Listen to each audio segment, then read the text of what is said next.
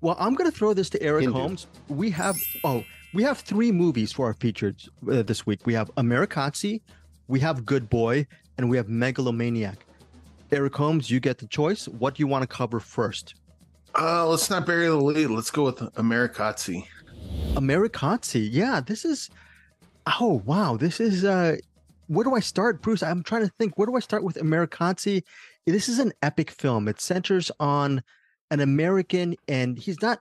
He's an immigrant to America, and it's set in 1948. A couple decades, he fled Armenia to the U.S. as a child due to, I believe, the Armenian genocide, and he's saved at that moment as he actually immigrates to America.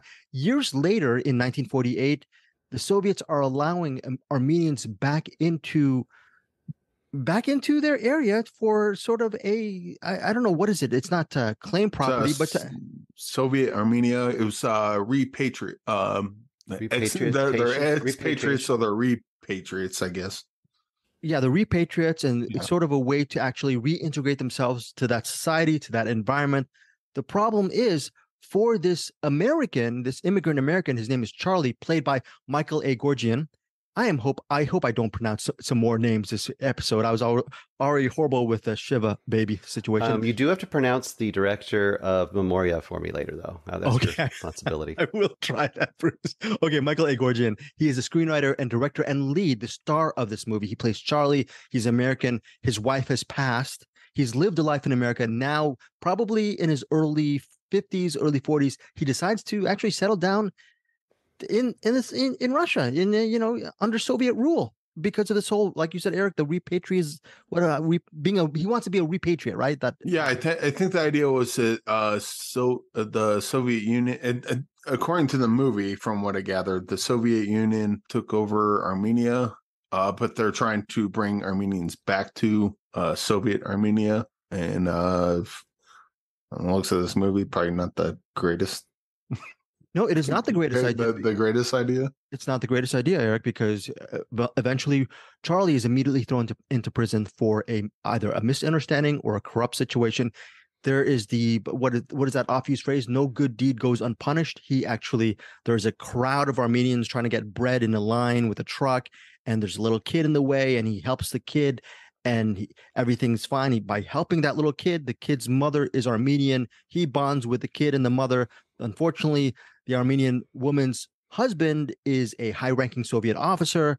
The Soviet officer eventually, through his machinations and just through just a horrible act, he decides to throw this good Samaritan Charlie into jail. And the rest of the movie deals with how he tries to persevere through his existence from jail. The one, one way that is sort of the heartbeat of his existence is at he's sort of at the top section of the jail and he can see over the crumbling walls of the prison a uh, an Armenian man and woman living out their lives in an apartment. That Armenian man is coincidentally the one of the uh, officers in the prison. He mans the guard tower, and you can see it's sort of a a little bit of a vertigo reference, sort of a voyeuristic situation. You see sort of two movies rolled into one. You see him observing their lives, as well as you get to see his life in prison. It runs at 117 minutes. The languages are Armenian, English, and Russian.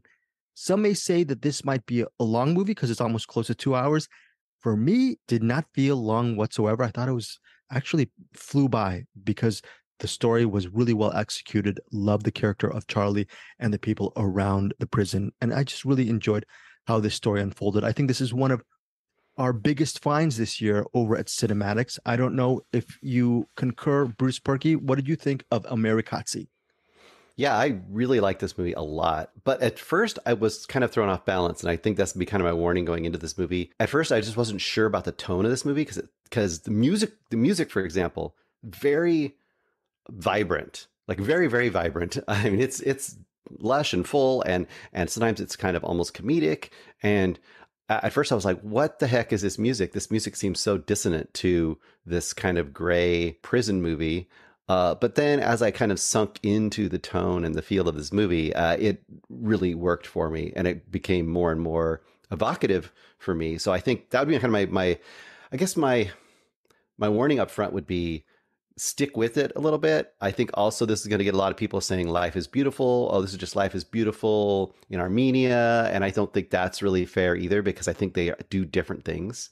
Where life is beautiful is, you know, this very comedic character trying to f- make things fun in a very horrible situation for his kid, trying, trying to hide his kid from the realities and kind of to, to mask everything. Whereas this is much different. I think this character of Charlie, he's almost more uh, at the start, I would say, just naive.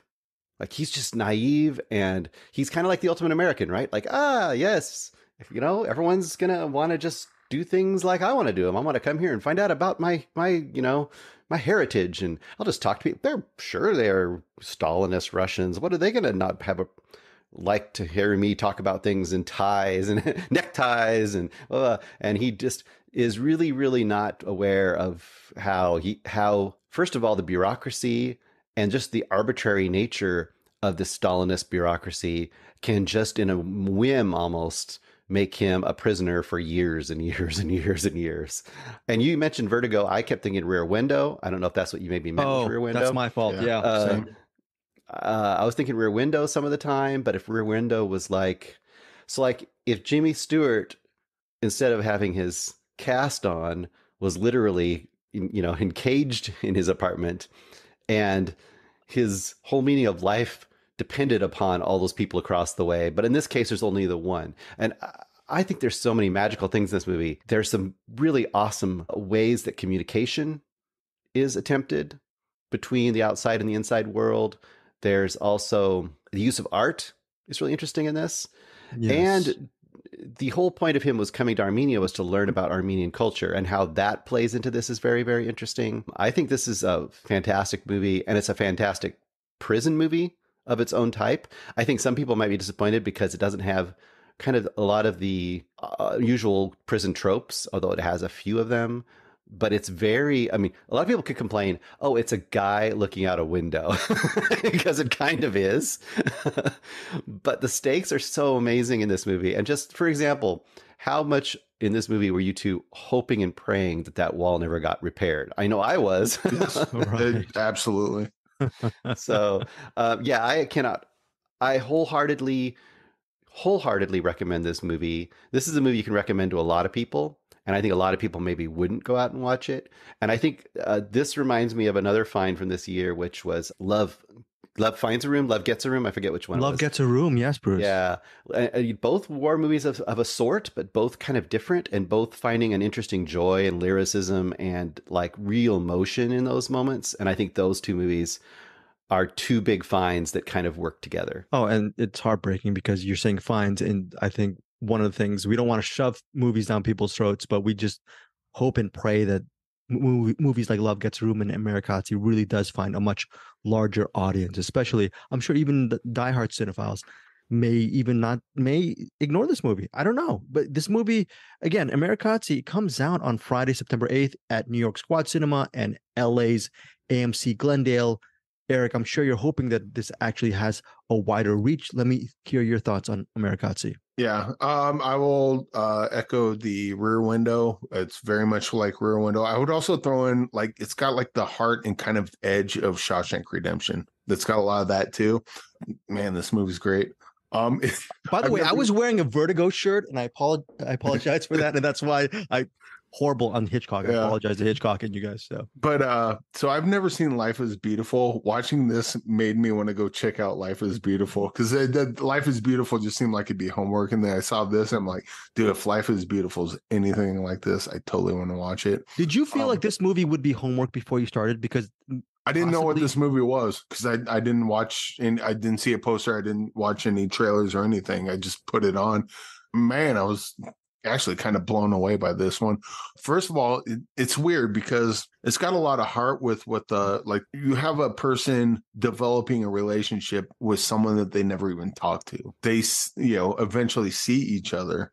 You know they they have a connection, but it's kind of like a, a connection uh, where there's no communication or no vocal communication at least in his relationship between him and the uh the guy in the guard tower that's across, you know, he's looking at him through his home. There's a part of this in the end where he raises a glass to him, and I'm bawling. I'm like, oh my God. Oh my god. But then I'm kind of torn on it too. And this kind of this is kind of the the push and pull with this movie. I'm kind of torn because dude, he's in prison and you're imprisoning him. And they and they even they even kind of develop that as well. Yeah. There's another scene where uh, the guard tower guy's got to do something he really doesn't want to do, and yeah, uh, the, the, this movie's like really it, it, has a lot of heart to it but when it gets uh when it gets intense it gets intense in a very emotional way just like i mentioned but i didn't kind of detail. This movie's great. I hope everyone gets to watch this. Yeah i think bruce you mentioned the word magical i think the most magical thing about this movie is one of the themes of the film is obviously it starts with the boy take being led off from his village in a trunk because if he's right. if the trunk's open, he'll be killed along with everyone else. I think we're assuming the mother is actually holding him at the beginning, and she's saying, no matter what happens to you, always smile. So when you start off a movie like that, you think that the director, he or she, would have that license to have all these saccharine, syrupy, honey-filled moments with him making people smile. Nope, it doesn't. It doesn't overplay its hand. It doesn't get too over sentimental. In fact, Eric was mentioning about the third act. The final moments to me are very, very subtle and hmm. inferred mm. and really well done. And I think this movie is really magical because it doesn't go for the easy sentimental mm, things that'll make you cry. You will have emotion, and you mentioned evocative. It is evocative because it underplays its hand a lot of times. So, any final comments regarding Amerikatsi, Bruce, or Eric before we get to ratings? No, I mean, look for this movie. It's fantastic. It probably will be streaming soon, but I would say, yeah, if you have a theater that's playing it, go check it out. I mean, I can imagine that this the score on this and watching it on a big screen would be amazing. This is this would be a no brainer, I would say. Yeah. So for me, my I think this is room to grow, but my rating, initial rating for Amerikatsi is four and a half stars. Eric Holmes, your rating on Amerikatsi. Do you like Rear Window? Do you like Shawshank Redemption? You will like Amerikatsi. Five stars. This one's a complete banger. There. Okay, Bruce Purkey, your rating. Uh, five stars as well. Wow. Huge, huge praise for Amerikatsi. Again, Michael A. Goorjian is the writer, director, and lead actor. A lot of people say whenever someone does that, it seems like a vanity project. Sometimes vanity projects are not so vanity when they're actually really well done and it doesn't seem like a vanity. It just feels like a very love, uh, labor of love inspired piece. Yes, Bruce. I'm sorry. No, that's exactly what I was going to say. I think it's this is the opposite of a vanity project. I feel like it is truly a labor of love. This is probably a story he really, really wanted to tell, and he probably did whatever he could to get it out there. It looks really good too. So I don't know oh. how he got everyone on board for it, but, but it's it's a quality production. This yeah. also not not in like tone or story or anything, but uh, kind of like how Jim Cummings stars in his own movies. But the characters that he plays, it's like who else are you going to get to play that? He nailed it. This is kind of the the same same deal with Amerikatsi. Who else are you going to play that part? Okay, so that is high run across board praise for Amerikatsi again Friday in New York and LA, but at New York's Quad Cinema and LA MC Glendale. But hopefully with good word of mouth, Amerikatsi will be playing in more theaters and down the road, hopefully will be available on digital, on demand, streaming, etc. And I'm just glad we're the early birds on this film and we're going to spread the word on how great Amerikatsi is.